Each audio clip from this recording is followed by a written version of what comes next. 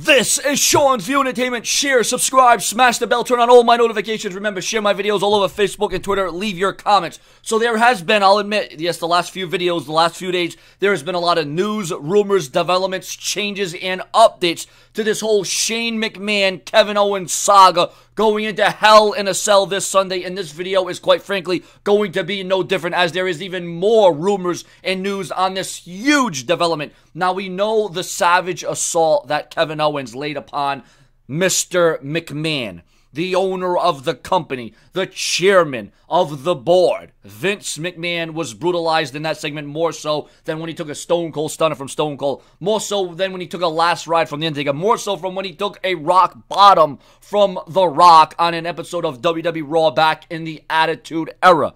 But we're not talking about the Attitude Era, we're talking about the KO era, the Kevin Owens era. So what is supposed to go down? What is supposed to happen at Hell in a Cell this Sunday? Well, we let's just bring everyone up to speed. We know that the rumors of this being a falls count anywhere match, just so there can be some kind of stunt double angle where Shane McMahon flies off something. I, I don't know what it's going to be rumors that they're doing a falls count anywhere so that way the focus isn't in the ring and Shane doesn't have to fly off the top of the hell in a cell. Also, that match can go on top of the cell and it can end on top of the cell. But there's now rumors and speculation that Mr. McMahon could return at Hell in a Cell to confront KO Kevin Owens. Now, Mr. McMahon is no stranger to returning and confronting wrestlers. He's confronted the likes of a Triple H before. He's confronted the likes of a Shane McMahon before. He's confronted the likes of a Stone Cold and The Rock before. D-Generation X.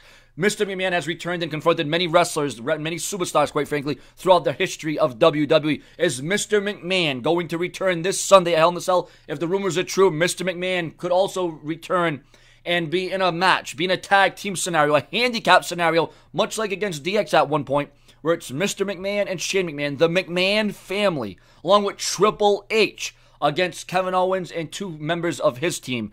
Rumors that Sami Zayn is going to turn heel.